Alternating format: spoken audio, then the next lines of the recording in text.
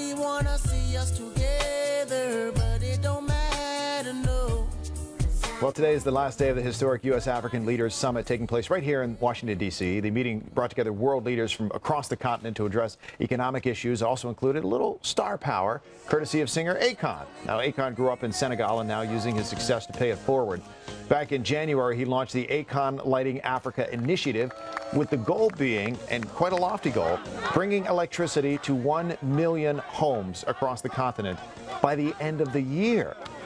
Akon joins us now to talk more Amazing. about the work that he's doing. And welcome to Washington, man. It's good to see you. Absolutely. This has been, uh, we got to get you back for pleasure sometime. This has been a work visit for you, hasn't it? Absolutely. I got to come back for pleasure, for sure. Good. How's it been going so far this week? It's actually been going amazing. Um, I think this is probably the most effective uh, forum that's been had as uh, that I've actually been to. Um, all the leaders actually got a chance to conversate, talk, communicate. The businessmen are there, the entrepreneurs, the young diaspora. I mean, it's been amazing. Yeah. And I know that um, y- when you grew up, you grew up without electricity, and, th- so you got this idea. And the fact that you were hitting on solar power to do it is just brilliant. I mean, I thought it was just basic common sense. You know, because when you look at even Africa, it's, there's a huge power situation. A lot of times because the finance is not there, and more than anything, the infrastructure is not there. So you got some of the cities that's wired up on the grid, but then you got outside, off grid, which is all the rural areas that's just not electrified. But one thing that you don't realize is Africa we'll never run out of sun. Right. So it's it's just like energy is right in front of you. So well, how do we utilize that to help you know defeat that problem? Now, what about know? the idea to actually get this project started? Is this the kind of thing that you always kind of wanted to do and waited until you had the means to do it, or was this a more recent uh, decision that you made? Um, I think it was a, probably a mixture of both, but it was more so of I saw how Africa was developing and how the Chinese were in there actually taking full control. And I wanted to be a part of the building of Africa because ultimately, if we as Africans don't rebuild and you know create our own future, then we'll just be completely alienated from how the Africa's supposed to be built with no say. as a son of Africa. Tell me about the uh, how lives have been changed because of it already. Oh my goodness. It's not even no words to describe it, literally. Like, it's been amazing. Like, just imagine coming from the dark into light. Right. It's just, and then there's so many things in, that they couldn't do after certain hours. Like, the children couldn't study. I mean, you really, I mean, because because if you're in the rural areas, you're literally out in the jungle. So if there's no light there, this is, it could be very dangerous. Like, literally. So, but they've have, they had adapted to living in those ways, but I guess this just makes it a lot easier for them, right? So. You, you, you know, I mean, you've, you've been all over the world, you've lived all over the world, and now you get through, you know, your career, you're able to travel all over the world. Mm-hmm. Do we just forget and overlook and take for granted the fact that there are so many people in this world that just don't have these basic needs that, you know, here in this country we do kind of take for granted? No, for sure. I mean, even me living in America for so long, I almost got spoiled to it. Like I went to certain countries expecting things supposed to be that way, and unfortunately, it's just not that way. You know, you got to just kind of it almost you got it kind of weakens you in a way because there's no strength because you always had it laid out for you. You know, and that's the advantages. And I think even being a, as a, a U.S. citizen, you kind of appreciate being a citizen after being outside because uh, God forbid something happened to me, I can count that they're coming to get me. they don't even have basic needs of that, you know what I mean? So it's to a point where we really took we take so much more for granted. And sometimes I think you have to travel outside of your comfort space Right. and just see what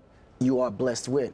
And believe it or not, that'll motivate you to want to do something. We, Oh, oh, go ahead. I was just going to say we have the um, the director of One here with us, uh, the with the Africa arm of the organization, and she talked about all the young people there on the continent who are uh, going into the workforce and, and the things and how Africa is now trying to turn around with some of the areas such as unemployment and other things like that. So how does uh, lighting parts of the continent help?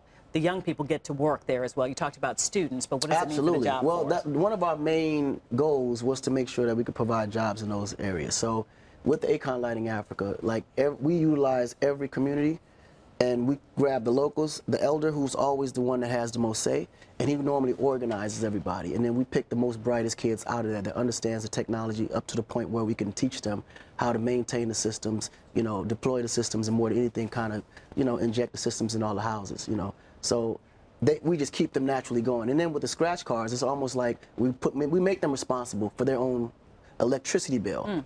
but we don't make it so expensive to where they can't afford it. It's actually a lot cheaper than what they're using now, which is kerosene lamps. Right. So our price is like five dollars a month, which is way lower than what it would cost for the kerosene, and then it's a lot more health it's, it's better for the health too because you don't have to worry about no smoke hazards. You don't have to worry about the Fire. kerosene lamp tip, tipping Right. over and Mm-hmm. you know the, the the house catch on fire and things of that nature. It's a lot So, safer at the same how time. How close are you to your goal, and what do you need from people to help you get there? Well, not necessarily we need anything from people. We just need them to be motivated to come and do something, period. Because right now, Africa's wide open for business. And there's so many opportunities to maximize. So it's like if you don't catch it now, you're going to really miss that boat. Because it's not literally leapfrogging from history to the future. Because we literally like skipped landlines altogether. It's straight digital. Mm-hmm. Africa's just straight digital at this point. You know what I mean? Mm-hmm. The only thing left is the infrastructure to build. Without energy, though, we can't even get that far. It's, it's such a lofty goal, and it's so amazing to think about. Just lighting a continent. You know, we we mm. get upset when our, our neighborhood goes dark. Oh, you know, for like for a night, right? right. And now we're Couple of talking about lighting an, an entire continent. So I mean, hats off to you for this initiative. Are you able to, to do this and still work on music at the same time? Well, I What do you- mean, music fuels all this. It's like without music, the, the opportunity wouldn't even opened up. So I will never let the music part of it go. But a new album is dropping in November, so look forward to it. I was going to say, what's next for the music? Yeah. Akon, thanks for coming over and spending some time with us today. We appreciate it, and we applaud your efforts there to light up Africa. Absolutely. Appreciate that. and when you're done with the business, come back to DC and party a little bit. All right. Come on, you gotta take me out. All right, we'll do it. Oh, we will do it. right. Challenge is on. Okay, well, it is 1021 on this Wednesday morning. Coming up a little later, the Good Day Cafe goes on the road as Holly continues her lessons, or lessons, showing us the lessons in how to be a gentleman. But first, the peak age for popularity. Details next, but we check the study hall. We got another name to drop now, Mel. Aye, we do. That's right.